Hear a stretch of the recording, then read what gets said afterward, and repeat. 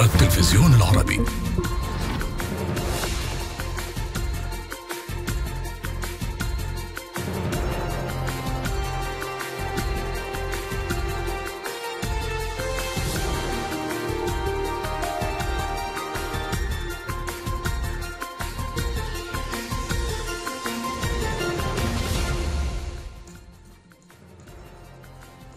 شهداء وجرحى في قصف إسرائيلي على البريج وانصيرات وسط القطاع.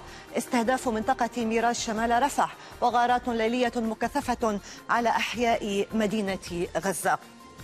استشهاد خمسة فلسطينيين بينهم قائد كتائب القسام في مخيم طول كرم بعد قصف الاحتلال مركبة بين قريتي عتيل وزيتا واشتباكات في قرية قفين بعد محاصرة قوات الاحتلال منزلا في القرية.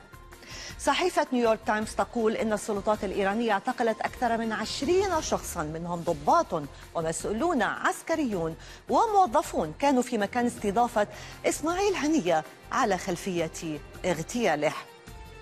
وزارة الدفاع الأمريكية تنشر مقاتلات وسفنا حربية إضافية في الشرق الأوسط وتقول إن وزير الدفاع لويد أوستن أمر بإرسال سفن تابعة للبحرية ومدمرات إلى جانب أسراب مقاتلات إضافية ورفع درجة الاستعداد لنشر مزيد من الدفاعات الصاروخية الأرضية. نائبة الرئيس الأمريكي كاميلا هاريس تضمن ترشيح الحزب الديمقراطي لها لخوض الانتخابات الرئاسية منافسة للمرشح الجمهوري دونالد ترامب في نوفمبر المقبل. الحكومة الأمريكية تلغي اتفاق الإقرار بالذنب مع المتهم بأنه العقل المدبر لهجمات الحادي عشر من سبتمبر خالد شيخ محمد واثنين من شركائه. الرئيس الفنزويلي نيكولاس مادورو يتهم واشنطن بالوقوف وراء ما وصف بمحاولة الانقلاب في بلاده.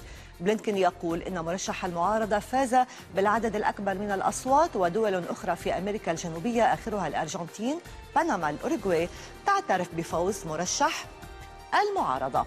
مقتل عشرة أشخاص على الأقل معظمهم مدنيون وإصابة آخرين بجروح في هجوم لمسلحي حركة الشباب على مقهى في ساحل ليدو بالعاصمة الصومالية موغاديشو.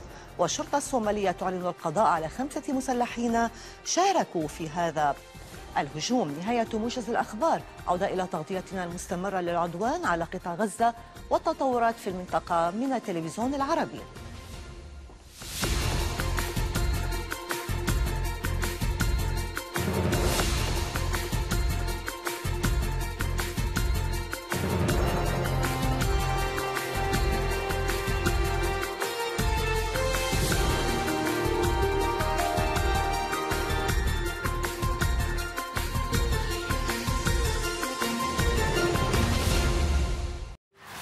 التلفزيون العربي.